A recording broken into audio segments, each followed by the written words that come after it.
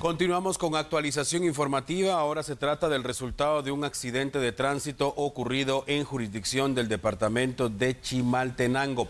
Afortunadamente las personas continúan con vida, sin embargo sí se reportan dos personas que han resultado gravemente heridas. Este, el conductor de este pick-up eh, perdió el control del volante y el automotor terminó volcado, específicamente en un lugar conocido como El Molino. Es jurisdicción de San Martín Gilotepeque en el departamento de Chimaltenango.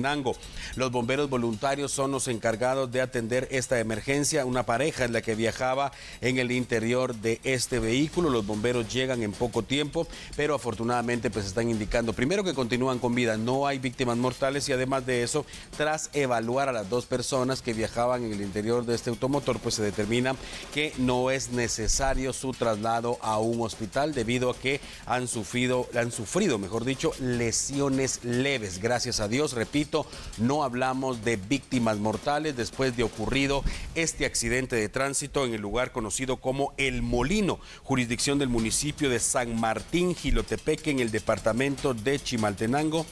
Emergencia atendida por los bomberos voluntarios.